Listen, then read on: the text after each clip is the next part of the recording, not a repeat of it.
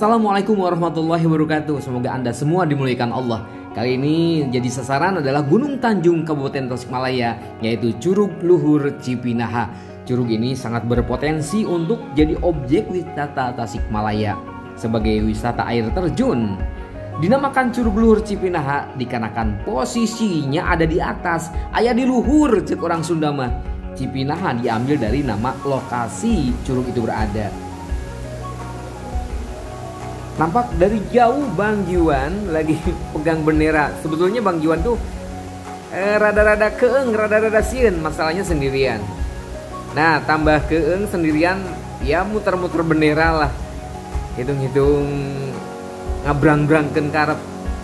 Nah, Bang Jiwan yang sedang pegang bendera ke titik curug jatuh itu sekitar eh, adalah 30 meteran kalau dari kamera di sini 100 meter lebih lah.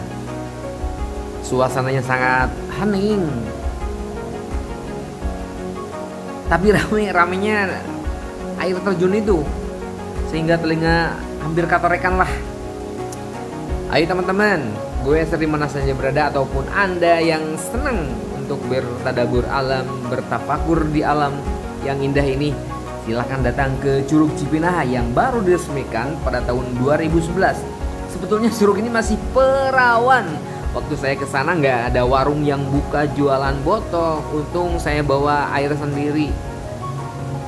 Cipinaha itu kalau di Tasik, mungkin kalau di India mah Cipinehi atau Cipinahae. Aja tum nehi, piar piar piar, merdir diwane curug Cipinahe, indahe.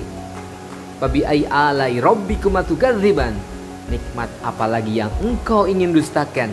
Ketika melihat keindahan alam ini, mata benar-benar dimanjakan. Airnya sangat bersih, sehingga kalau badan ini nempel di air sangat dingin saat itu. Si Bang Jiwan uh gawe dah di situ. ah, yang penting disenengin aja lah. Nah ini dari dekat ya. Nah air terjunnya sangat bersih. Kita coba di zoom ya. Yang sebelah belakangnya nih masih jauh nih. Nah Begitu besar airnya Begitu bersih. Masya Allah. Ini hanya titik kecil. Ciptaan Allah. Yang begitu banyak Begitu dahsyat. Hanya satu titik dimunculkan oleh Allah kita tidak ada apa-apanya. Maha besar Allah, maha segalanya.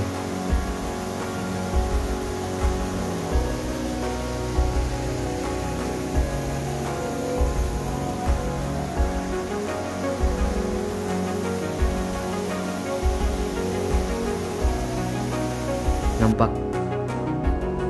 Bang Jiwan menengadah ke atas Terima kasih atas perhatiannya. Bersambung ya.